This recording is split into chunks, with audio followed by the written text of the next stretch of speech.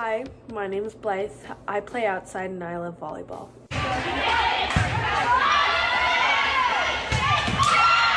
My name is Ololani Soto. I play right side and middle. Your donation would be crucial because as a member of PJs, I'd want to be able to have me and my team play at a national junior level, and as an individual to further my career in volleyball.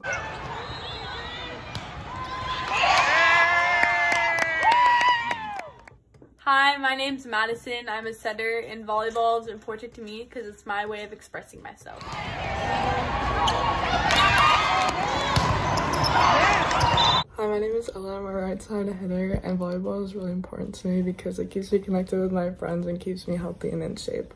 And I hope your donation can help with that.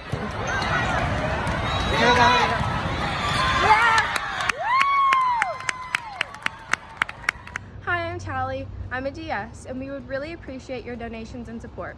Hi, my name is Lainey, and I'm a middle blocker for Puyallup Juniors. Your donation is important to me because it'll help me continue to do what I love, which is playing volleyball.